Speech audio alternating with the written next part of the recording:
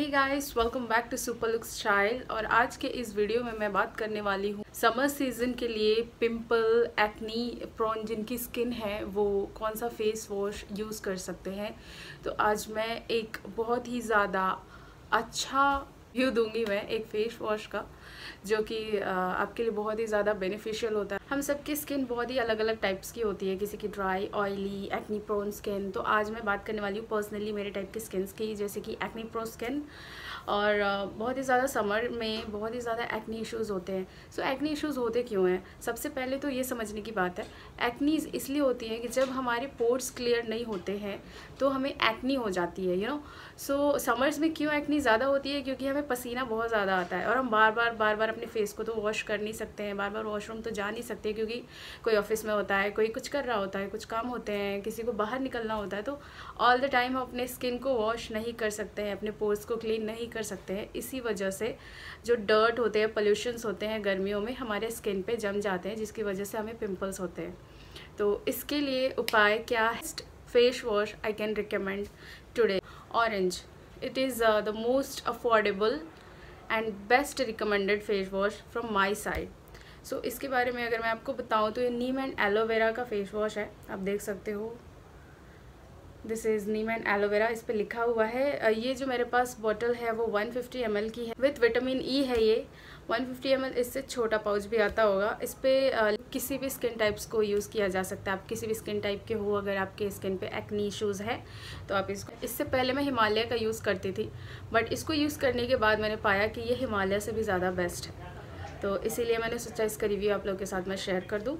और बता दूँ, बहुत लोगों को एक्नी इश्यूज़ होते हैं समर्स में और बहुत लोग जानना चाहते हैं, थक चुके हो बहुत सारी चीज़ें लगा के। तो जो मुझ पर सूट कर रहा है this orange face wash so मैं इसे रिकमेंड कर ऑफ़ थिंग सबसे बड़ी बात यह है कि बहुत ही ज़्यादा अफोर्डेबल है। ये समथिंग आपको इस पर प्राइस रेंज जो लिखी है वन फोर्टी सिक्स की है बट ये मुझे टेन रुपीज़ के डिस्काउंट पे मिले थे ब्लैंकेट से मैंने ऑर्डर किया था। Use before twelve months twelve months तक आप इसको आराम से यूज़ कर सकते हैं कोई दिक्कत कोई परेशानी नहीं है। You know today in this era we all need a good skin clear skin हम फ़ोटोज़ uh, लेते हैं।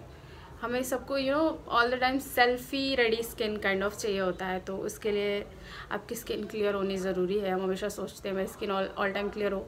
अगर स्किन पे पिंपल्स वगैरह होते हैं तो यू you नो know, और बहुत सारे लोग सेल्फीज़ नहीं लेते यार स्किन ख़राब है don't take it and all so for this इसी चीज़ के लिए है। चलिए इसकी कंसिस्टेंसी के बारे में बात करते हैं। सो so, जो इसकी कंसिस्टेंसी है वो कुछ एलोवेरा जेल टाइप की है। आप देख सकते हो प्योर एलोवेरा जेल टाइप की इसकी पूरी तरह से कंसिस्टेंसी है। और ये ज़्यादा आई थिंक इसमें पैराबन वगैरह भी नहीं है सोप भी ज़्यादा नहीं है क्योंकि ये ज़्यादा झाग नहीं छोड़ता। बहुत ही नेचुरल है जो ऑरेंज ब्रांड है वो सबसे ज़्यादा यू नो नेचुरल प्रोडक्ट्स बनाते हैं। तो आप देख सकते हो यहाँ पे, जैसे कि मैं इसको जैसे जैसे रगड़ रही हूँ अपने हाथ पे, आप देख सकते हो इसमें से ज़्यादा झाग नहीं आ रहा। इट मीन्स कि इसमें केमिकल्स ज़्यादा यूज़ नहीं किया गया है। बहुत ही नेचुरल तरीके से है। तो वी कैन से दैट कि हमारे फेस के लिए बहुत ही ज़्यादा बेस्ट है। सेंसिटिव स्किन है तो और भी अच्छा है। जैसे आप इस फेस वॉश को पानी से धोते हो, आप देख सकते हो। मॉइस्चराइज भी है। आपकी स्किन को खिंचता भी नहीं है ये और बहुत ही ज़्यादा मॉइस्चराइजिंग लोशन वगैरह भी आई थिंक कुछ मॉइस्चराइजिंग विटामिन ई है इसमें, जैसे कि मैंने पढ़ा था। तो vitamin E moisturisers your skin तो यहाँ पे आप देख सकते हो कि मेरी स्किन को इसने मॉइस्चराइज भी किया है इस फेस वॉश ने। And this is my honest review about this इस फेस वॉश और आप do like and subscribe the channel